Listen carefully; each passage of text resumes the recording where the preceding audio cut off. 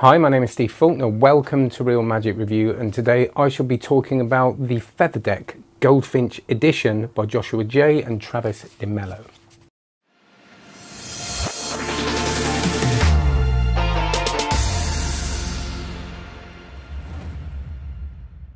Before I do this, can you please like, subscribe, and check out cardmagiccourse.com, which is my online card magic course, which everybody loves. Nobody ever has a bad thing to say about it, and uh, you can learn from me. That'd be nice, wouldn't it?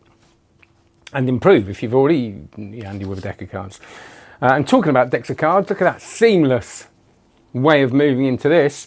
Um, these are lovely. I don't think I'm very good at, at um, reviewing playing cards.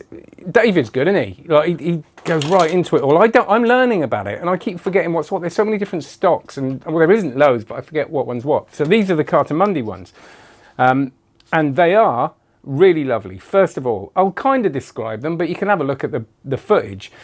But I'll kind of, it's more of a feel thing with cards, isn't it? Because some of them are going to be quite similar, but there's a big psychological thing that happens. So let's talk about this. You, you get a deck of cards out. You know that if, and these aren't bicycle, but let's say they're, they're US playing cards, you know that they're going to be one of three stocks and a limited number of finishes.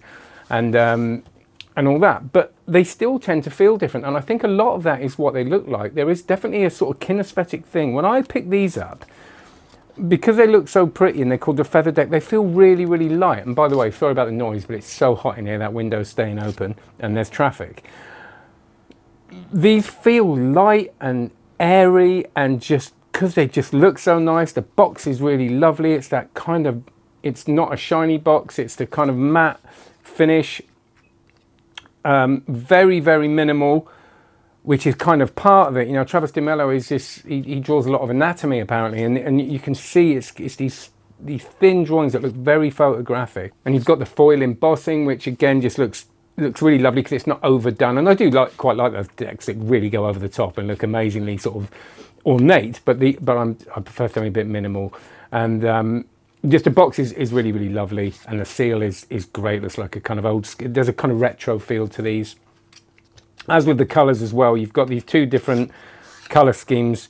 Um, you know, you've got this kind of teal color, which is really kind of retro and the gold. The, the, they are absolutely beautiful. And I do, this crush stock is very thin, but it, it, it, feels kind of substantial. And I haven't used these for a long time because I wanted to keep them in good nick.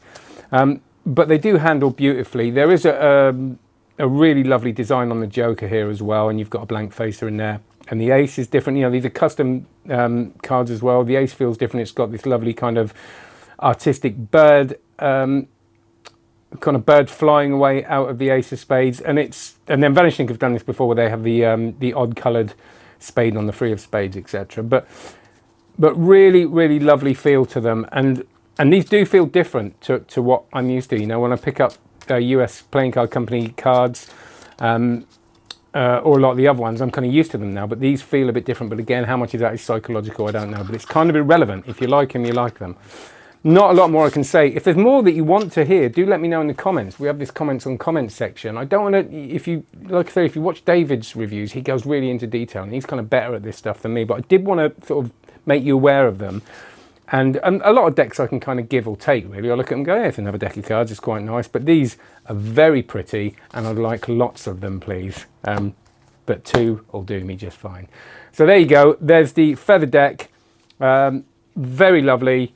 Any questions, do comment and I'll answer your questions on a Thursday in the live show. And do join us for the live sessions on Mondays and Thursdays, 5 UK. It's a really lovely community, and you can ask me anything you want about the products or just about magic in general and, uh, and that'd be great. So like and subscribe, do all the good stuff, cardmagiccourse.com. Please do go and have a look at it.